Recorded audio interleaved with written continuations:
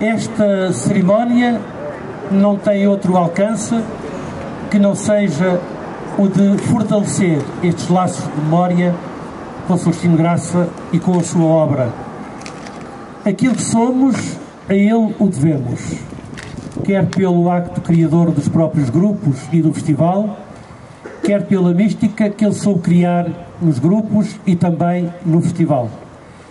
É certo que ele já morreu há 48 anos, mas não é menos certo que ele continua vivo no nosso coração, porque continuamos a tentar cumprir aqueles que foram os seus objetivos.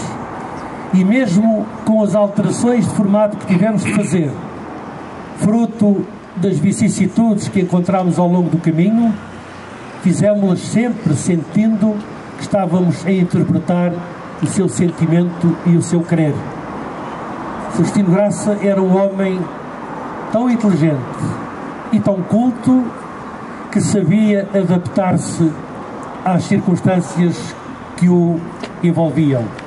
E, portanto, as alterações de formato do festival que nós temos feito, certamente que ele as teria feito muito antes do que nós o fizemos e melhor do que nós o fizemos. Mas fazemos o melhor possível para honrar e respeitar a sua memória e a de sua filha Graça Maria, que passou cerca de quatro décadas à frente dos nossos grupos. É um trabalho notável que não esquecemos e que por isso temos que ser sempre gratos por aquilo que nos legaram e que nós tentamos modestamente manter.